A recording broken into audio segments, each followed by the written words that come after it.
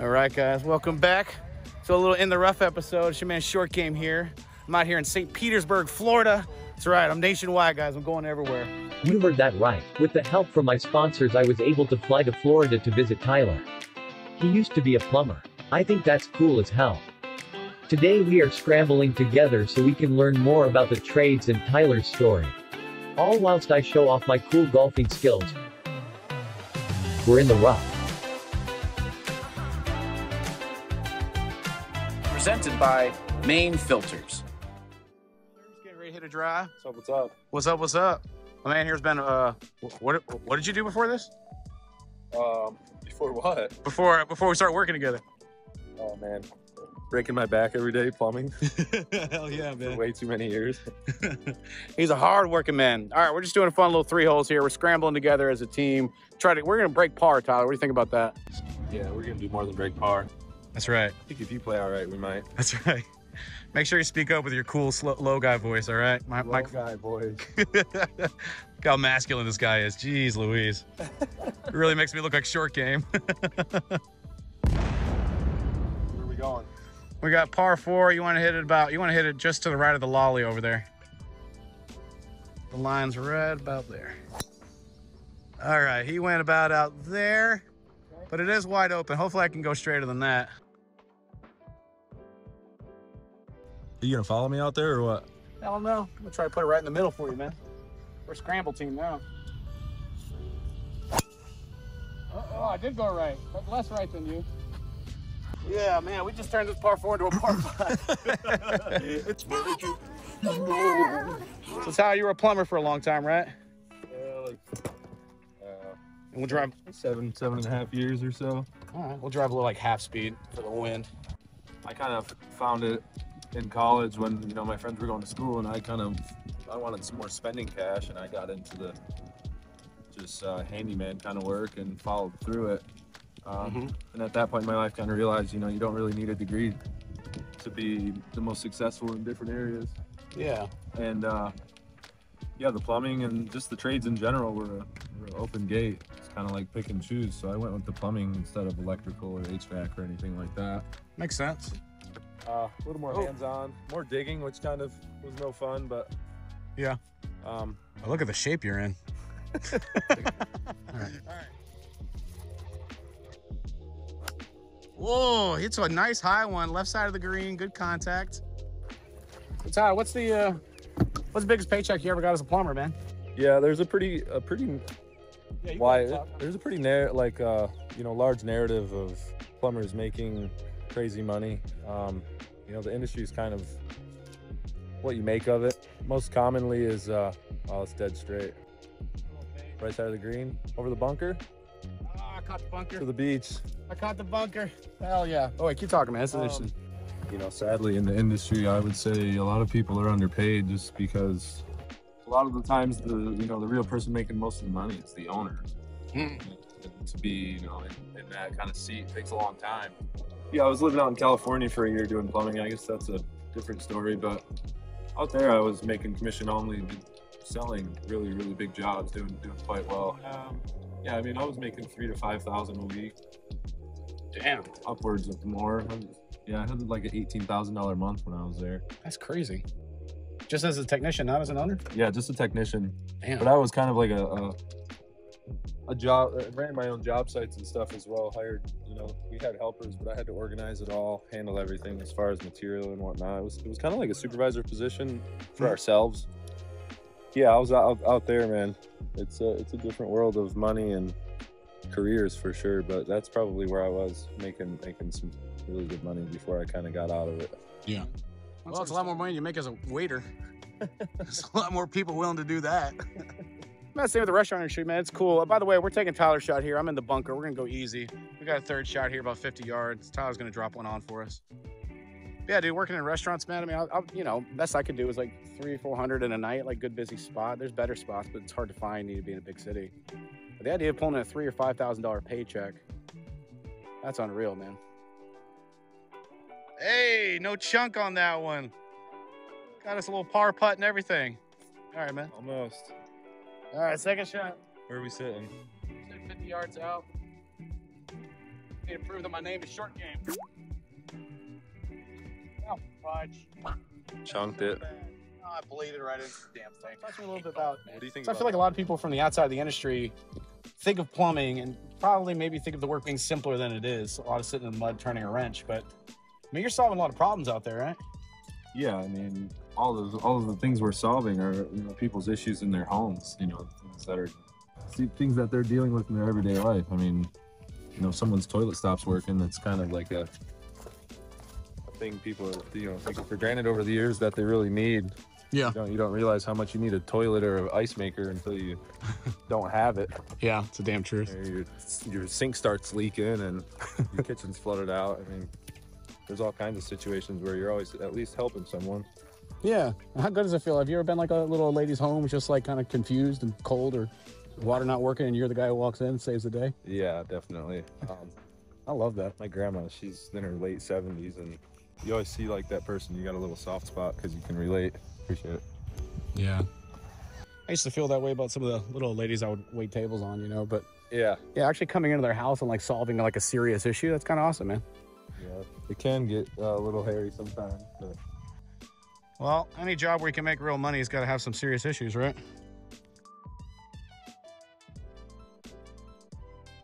Come on, be. Ah! first down, man. First, put my, yeah, exactly. Put your purse down. Dang it. You gotta hit the putt, Betty. God, dog it. Hey, man, we positive vibes only, all right? one, one of my dad's fra- favorite phrases when I leave it short like that: You big Mary. Hit the ball, you big Mary. It's twilight. It's my favorite time though. Right? time. little Twilight golf. Check out this course here, guys. Here in St. Petersburg, Florida, we got a swamp over here filled with gators. Quite rough. Golf cart. Oh, hell, we're off path, man. You can get me in trouble on my show part. One more after this, perfect. All right. Oh, that's literally our three-hole challenge. Good thing we started filming.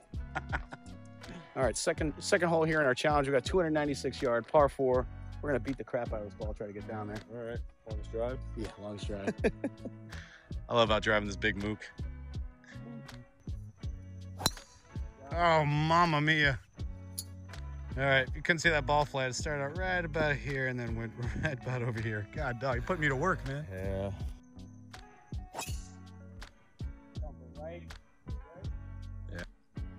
Bunker. All right. At least it landed safe. We're in the fairway bunker out there. That's your tee, buddy. Oh, yeah. Look at this Not kick. bad. Not a bad shot. Yeah. Look at the different view. Look how, look how nice it is up there. You son of a gun. Let me hold it. Mosquitoes are out, man. We make a heck of a pair. Little, little short game and long game over here, except he doesn't hit it that long. Oh, I just hit it out. That time. Just ow, man, that thing was hard hit. I mean, I like to think about this, dude. Like, if you wanted to pick up and go to a new city with the skill sets you have, how hard would that really be to go get to go and start making some good money? not that hard. I mean, Right. with the right guidance, you can you can do that pretty quickly. That's fine. You got my wedge. I got you pitching wedge, yeah. Yeah, we're sharing wedges today. All right, here, your show. I'm gonna hit. I'll try to hit a shot. Get up there. Oh, that was way short. Yeah. A lot shorter than I thought. Try not to hit it over the green. All right, second shot here on this par four. It kept us alive here, but I made it difficult. It's like hitting on the, oh my God. Way under it. All right, it's probably in the hole. We won't double check that. Comb sand. There you go. It's called a rake. I guess in your hands though, it looks feels like a comb.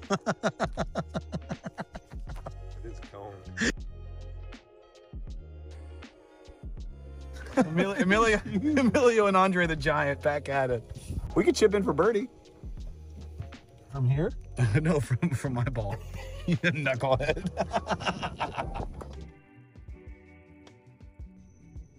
There it is. Get up there. Oh, chunk that a little bit. That's not bad though. Oh hell. Settle down. All right, so I gotta go get, try to go get our par real quick.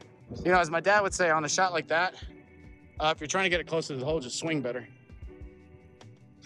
Look at that big face. What a tip. what a tip. Golden hour, baby. Speaking of tips, man, that's how I used to make a lot of money. You make money weekly just off of tips. Tips as a plumber? Oh man. Really? Yeah. People People are gratuitous for it, man. Here. We're helping lives, you know. Talk about that while I hit. It's almost a talk sometimes when you're in interviews. You know, it's kind of a thing like how many, like what do what do tips look like, or commissions, or spiffs, or whatever it may be, and uh, a lot of companies will have a number, and I, you know, in in mind. Really? Like a lot of the techs, you know, they'll be like, yeah, man, I'm making 100, 200 bucks a week on average just off the tips. And Hmm. you just have that one conversation. I mean, some people aren't making that in a week. Yeah. Knock it in. Come on, one time. One time. Ah! Ah! Tyler, why? Those long arms. What are they getting you? I mean, like, what would it take cost wise? Go get yourself a van. S- Assume you got your training and your license. If you want to go to a new city, get your van, stock it up, and start start taking jobs and meeting people. What do you really need to get that going? I mean, most places you need a license for starters. Yeah. You know, but beyond that, you can, you can get a pretty pretty decent work van, maybe five, ten grand. Uh-huh. You know, something that's gonna worth you know be worth your money and last a while. Make connections somehow. You know, you gotta have the clientele before you get to where you want to go. You know, your, your, your buddy who's doing concrete, he was talking about he goes to the city hall meetings and looks to meet people there and hear about little projects coming up and put his bids in. Yeah, I mean, even at like the like the uh, supply shops we go to, you see cards and flyers and stuff on their little cork boards to advertise work needed, or you know, someone needs work done, they'll leave a phone number. I mean, there's definitely ways to make connections. All right, guys, we're on the third hole here, our little three hole challenge. We're two over par. We're not playing the kind of golf we want to, but we're having a great time today. Par five, about 500 yards, I do believe.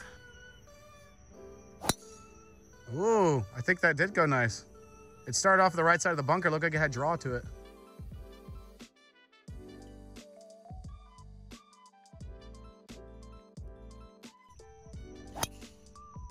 I lost it again. It felt good. Yeah, you know, I mean, the reason I, so, you know, one of the reasons I wanted to film with you, I talk about this stuff, is because a lot of people are looking for some independence. People are, people want to be able to go to different places. You know, a lot of kids are looking for what, you know, uh, law school is just pumping out degrees, with, but there's not enough jobs. There's not enough jobs for the English majors, not enough jobs for history and stuff, but there's so many jobs available in this industry right now. Yeah. I mean, I mean, you and I, we call these shops every day at this unknown company that hasn't sponsored us yet, but do they, do they ever need help finding work? No, the problem is finding you know people that want to work. Yeah.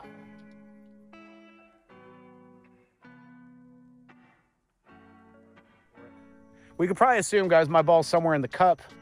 Uh, but since we don't have time to go get it, we're gonna hit Tyler's shot here. Good thing I got. I never saw it. Where'd it go? oh God!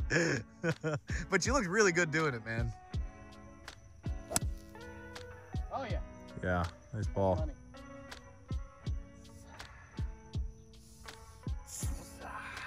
Nice ball. celebrating like average shots. Like what were you saying earlier today? That just uh, because you were big and handsome, it made it easier to come get jobs.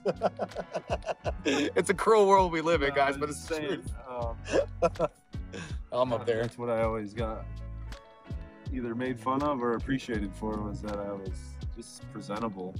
You know, a, lot, a lot of the guys in Florida are just are just trying to make a paycheck. They're not trying to, you know, make a make a living or make a company look good or even themselves. You know.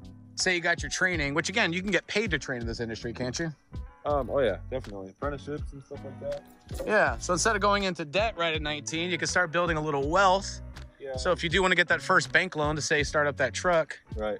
A lot of people down here they'll go to like tech school while they're working apprenticeship at a company. Yeah. So they're learning as they go. You know, you're still you're still making 13, 14 bucks an hour while going to college learning.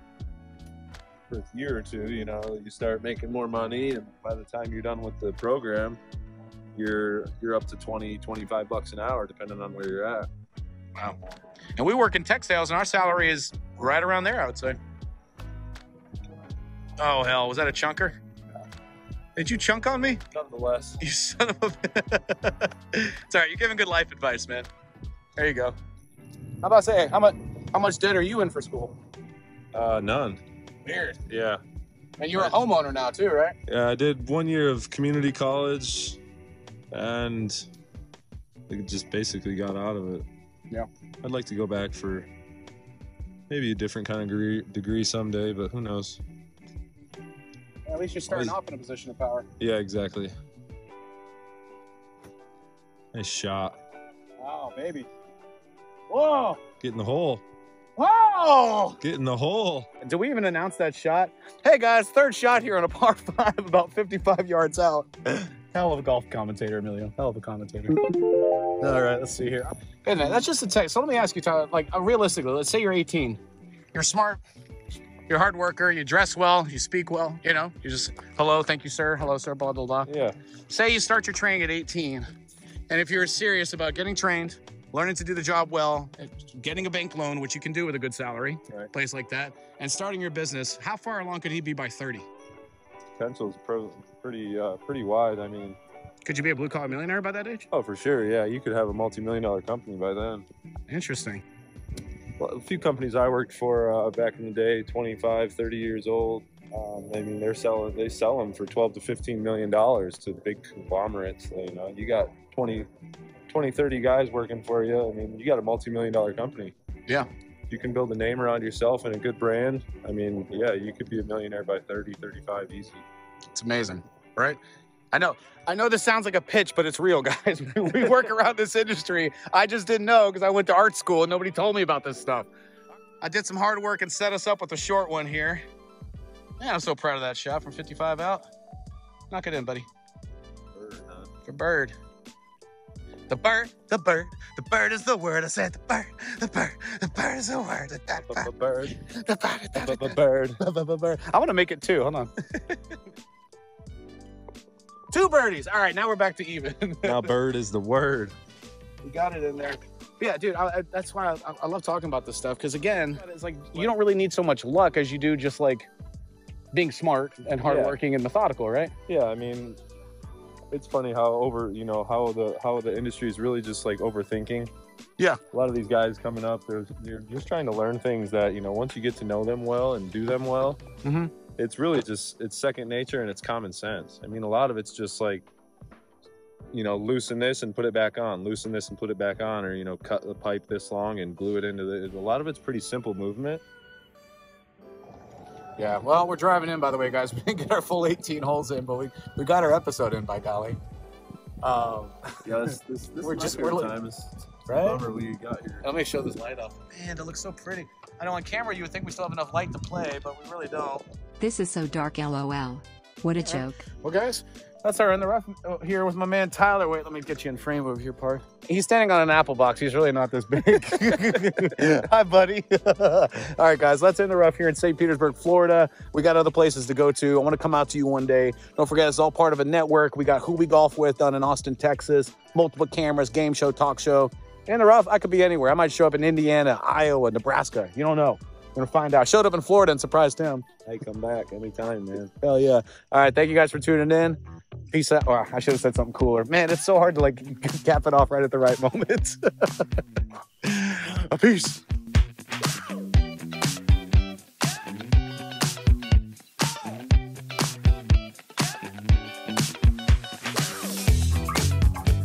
I forgot we don't have a car. yeah, we got to get a ride. Where's your girlfriend now? By the way, he'll understand when I say this. Ethan, where are you? Ethan, get over here. Hopefully, the editors keep that in. Hopefully.